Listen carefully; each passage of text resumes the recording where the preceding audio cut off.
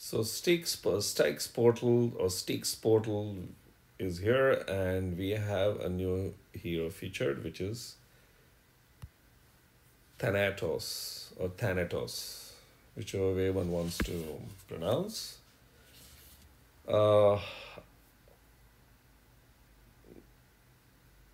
looks like a he name of a he but looks like a she also so very interesting call him a druid class ice legendary the Styx family bonus is fantastic it's available to one hero and that percentage 40 60 80 to cast minus 30 mana gen to all enemies for three turns and that can really mess around with the speed of charging up the off position, which is excellent.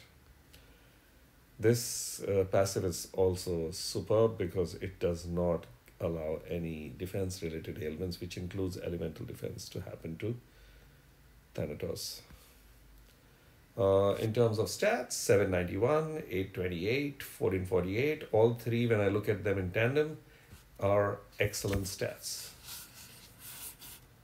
delay the inevitable and that is rightly the special also first charge which is very fast speed two matches.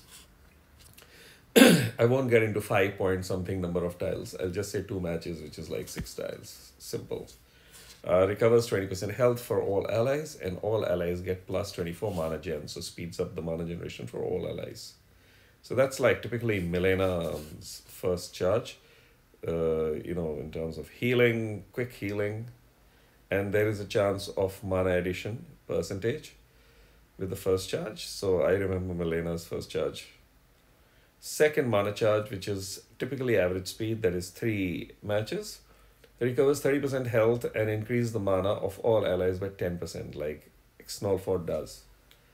So there's a straight 10% mana addition to all allies apart from the 30% heal. And the third mana charge will be a combo of the first and the second. That's what the typical Styx hero designs are.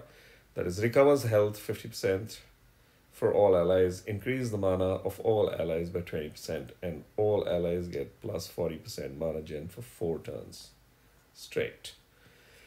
So, good hero, I would say.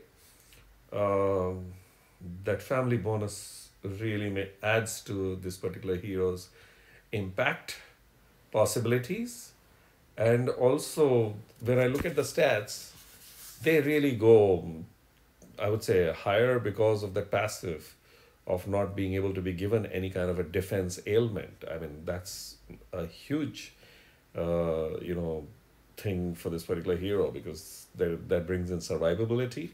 And if this hero survives then we know the specials. So not just heals but also speeds up all allies. So there you go. Good hero i have this niggling feeling that i would have wanted this hero to have something like a what do i say something more maybe you know one of the specials i mean one of the charge a mana charge, or maybe the second one should have had a cleanse or a debuff or something uh, that would have just made this hero absolutely crazy chase worthy. But also, I feel that it would have become borderline uh, overpowered because whatever is added in the first and the second, I mean, given, is going to get added in the third one. So, at the third one, at slow speed, being able to speed up mana and also do something crazy would really make things challenging. But that's me thinking. So that's that. the other information I'll give is, you know, just for fun's sake, uh, the Soul Exchange uh, speculative list is out. And uh, for the fifth one, so I think it started in the second one, if I remember uh, well. Uh, and uh, the last three times, the lists have been damn accurate. We have been suspicious, but eventually, when Solex came out, the list was accurate. So that's that. So if anybody who has not checked out, because I think most of us already know that list, I'm not going to spell it out where. So I'll leave it to anybody who's interested to go to the forum and check out the latest list that has been you know, informed over there. So that's that. So thanks for watching. See you in the next video. Cheers.